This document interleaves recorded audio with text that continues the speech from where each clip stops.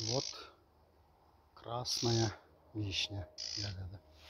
Она уже зреет, даже поклевать успели. Вот, наверное. Да, еще кисловато. Еще недельку и созреет.